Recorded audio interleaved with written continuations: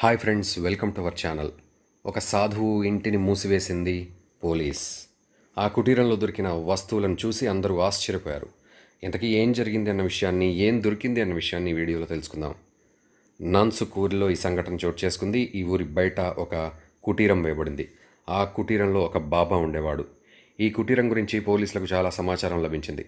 దాంతో పోలీసులు రంగంలోకి దిగి ఆ కుటీరానికి తాళాలు వేసేశారు. కానీ ఆ కుటీరం నుండి బయటకు తీసిన వస్తువులను చూసి అందరూ ఆశ్చర్యపోయారు. ఈ కుటీరం నుండి కత్తులు గన్నులు బయటికి తీశారు. అవి చూసి పోలీసులు షాక్ అయ్యారు. దీంతో పోలీసులు ఆ బాబాని అరెస్ట్ చేశారు. విచారించగా పంతొమ్మిది వందల తొంభై రెండులో ఆ వ్యక్తి వేరే ఊళ్ళో నివసించేవాడంట. ఆ వ్యక్తిపై తన సోదరుని చంపిన విషయమై కేసు ఉంది.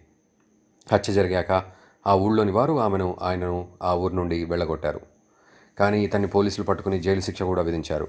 జైలు నుండి తిరిగి వచ్చాక ఆ వ్యక్తిని ఆ ఊరి వాళ్ళు వెళ్ళగొట్టారు. దాంతో ఈ ఊరికి వచ్చి సాధువు వేషం వేసి కత్తులను గన్నులను సప్లై చేస్తున్నాడు. సాధువు వేషంలో ప్రజల్ని మోసం చేస్తున్నాడు. ఈ సాధువు దొంగ సాధువు పేరు బలక్రామ్. ఈ విధంగా ఈ వ్యక్తిపై విచారణ జరిపిస్తున్నారు పోలీసులు. స్థానికులు ఈ వ్యక్తి వివిధ పనులు చేస్తున్నాడని అందరినీ మోసం చేస్తున్నాడని తెలుపుతున్నారు. మరి ఇతన్ని పోలీసులు అరెస్ట్ చేసి తీసుకెళ్ళారు?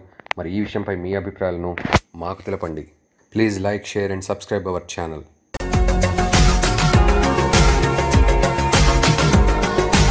మరిన్ని అప్డేట్స్ కోసం మా ఛానల్ సబ్స్క్రైబ్ చేయండి.